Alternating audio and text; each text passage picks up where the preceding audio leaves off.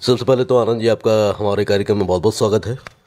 मैं आकाशवाणी का धन्यवाद करना चाहता हूँ कि आपने मुझे आपके साथ बातचीत करने का मौका दिया।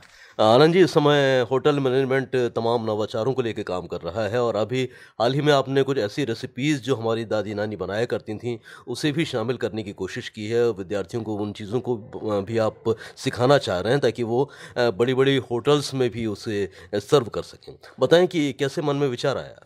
सर मैं आपको बताना चाहता हूँ कि आजकल हमारा जो खाना है बहुत गड़बड़ हो गया है हम जो पाश्चात्य की जो संस्कृति थी उससे कहीं बहुत ज़्यादा घुल मिल रहे हैं और अपनी जो हमारी अच्छी संस्कृति थी और जो स्वास्थ्यवर्धक खाना होता था उसको हम भूल रहे थे हम्म। तो हमने विचार किया कि जो हमारा पुराना जैसे मध्य प्रदेश की हम बात करते हैं तो यहाँ कोदो कुटकी और दूसरे मिलेट जो हैं बहुत अच्छी तादाद में पैदा होते हैं बट किसानों हम्म। ने चूँकि उनको उसका अच्छा मूल्य नहीं मिल रहा और वो मूल्य किसने मिल रहा हम लोगों ने खाना छोड़ दिया। हम्म। जबकि वो बहुत स्वास्थ्यवर्धक है। इसलिए हमने ये विचार किया कि क्यों ना हम एक एफर्ट करें।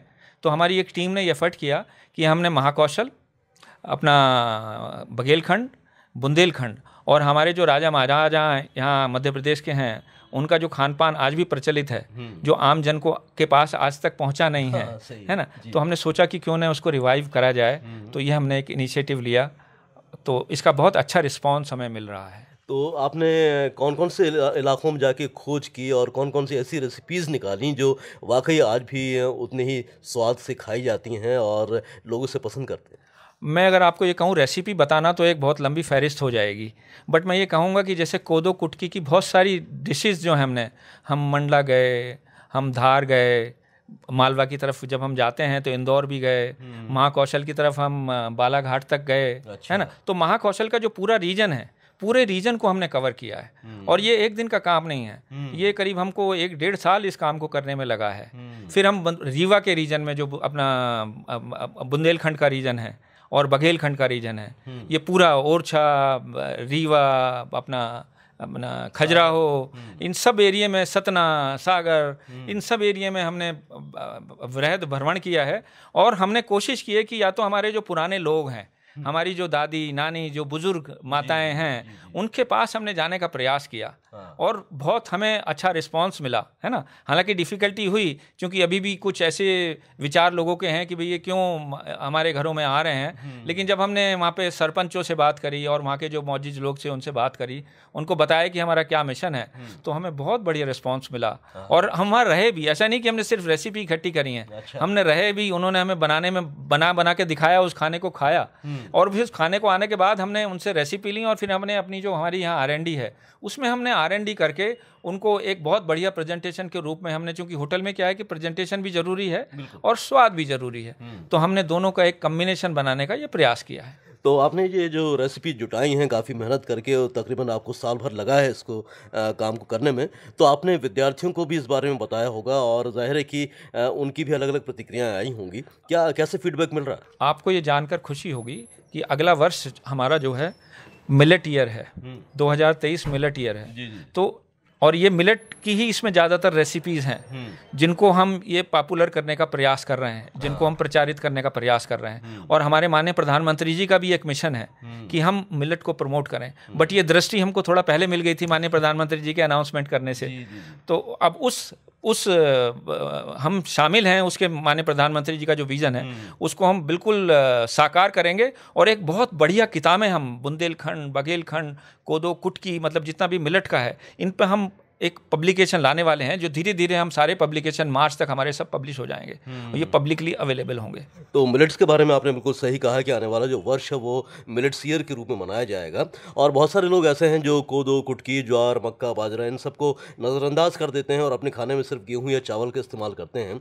तो इसके बारे में बताइए कि ये कितना पौष्टिक होते हैं और हमारी जब आजकल जो जीवन शैली है जो दिनचर्या है वो बदलती जा रही है तो उसको फिट रखने के लिए भी इनकी क्या भूमिका हो सकती है? आप जैसे आजकल देखते हैं कि हम सब लोग hypertension blood high blood pressure sugar ये सब कुछ ऐसी जो दैनिक हमारी लाइफस्टाइल की डिज़ीज़ हैं उनसे हम सब पीड़ित हैं हम्म। अगर हम अपने जीवन दिनचर्या में हफ़्ते में एक दिन भी हमारे एक मिलट खा लें अलग अलग मिलट खा लें तो आई थिंक जैसी छोटी छोटी समस्याएँ हैं ब्लड प्रेशर की समस्या है शुगर की समस्या है क्योंकि लाइफस्टाइल तो चेंज करना ही पड़ेगा। थोड़ी मेहनत कर, हम लोगों ने मेहनत करनी बंद कर दी है। थोड़ी मेहनत करनी पड़ेगी बट अगर हम इनको इन इन इन इन मिलेट्स को खाएँगे या इन इन इन खानों को खाएँगे तो एक तो हमारा जो पुराना ट्रेडिशन है उसको हम रिवाइव करने में सक्षम होंगे। और जो हमारे जो पुराने लोग हैं जो उन्होंने पैदा करना बंद कर दिया है वो पैदा करेंगे। आई थिंक ये फार्म टू फोक का जो एक कॉन्सेप्ट है वो फलीभूत होने वाला है। और ये मतलब हमारी ये जो बीमारी है ना पहले कितने लोग सौ साल तक जीते थे है ना तो आई थिंक अगले 20 सालों में अगर हमने इसको एक बार अपने को अपने अंदर आत्मसार कर लिया और डेली के खाने में हमने इनको लगा लिया तो मैं समझता हूँ कि हमारे यहाँ बीमारियों का जो ये जो संकट चल रहा है ये सब समाप्त होने वाला है और जब हम बात करते हैं गेहूँ और चावल की क्योंकि हमारे गेहूँ हमारा नहीं है हम्म। चावल भी हमारा नहीं है हम्म। ये पाश्चात्य देशों से आया हुआ है और हम मार्केटिंग के कहीं ना कहीं जाल में फंस गए हैं हम्म। उसकी वजह से हम ज़्यादातर चावल और ये खा रहे हैं परंतु अगर हम अपने ट्रेडिशन खाने पे आ जाएँगे तो भारत को कोई भी मतलब एक बहुत स्ट्रांग राष्ट्र होने से रोक नहीं सकता है हम्म। स्वस्थ राष्ट्र होने से रोक नहीं सकता है हम्म। ऐसा मेरा मानना है बिल्कुल सही कहा आपने कि यदि हम अपनी पारंपरिक चीज़ों का इस्तेमाल करें तो हम बहुत सारी जो बीमारियाँ हैं, उनको भी दूर कर सकते हैं और स्वस्थ रह सकते हैं। अच्छा बहुत सारे प्रयास आपके कुछ ऐसे भी हैं, जिसमें आप इस तरह की जो गतिविधियाँ कर रहे हैं, जो नवाचार कर रहे हैं आम जन को भी आप उसमें इन्वॉल्व करके चलें, ताकि हमारे जो शहर के लोग हैं या प्रदेश के बहुत सारे दूसरे इलाके हैं, उन लोगों को भी कुछ फ़ायदा मिले।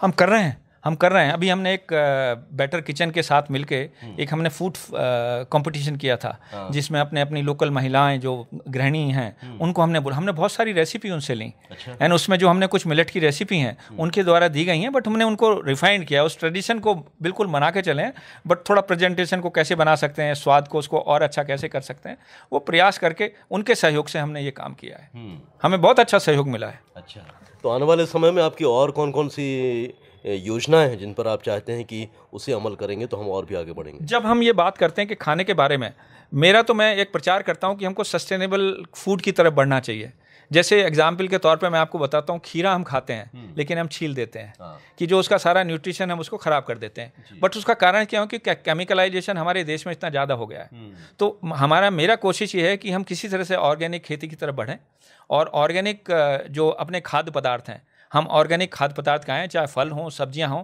दूसरे क्या है कि हम सीज़न की चीज़ें सीज़न में खाएँ आजकल क्या गड़बड़ हो गया है कि हम जो नॉन सीजनल चीज़ें हैं वो ज़्यादा खा रहे हैं हम्म। जिसके कारण भी हमारे स्वास्थ्य पर विपरीत प्रभाव पड़ रहा है अच्छा।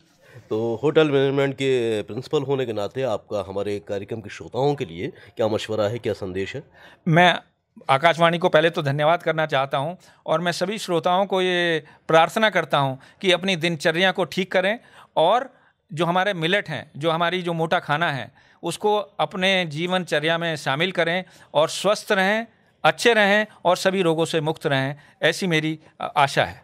इतनी ख़ास बात करने के लिए उतना समय देने के लिए आनंद जी आपका बहुत बहुत शुक्रिया। मैं पुनः आकाशवाणी का आभार करता हूँ और आपका भी मैं आभार करता हूँ कि आपने मुझे मौका आपसे रूबरू होने का दिया। आभार। Thank you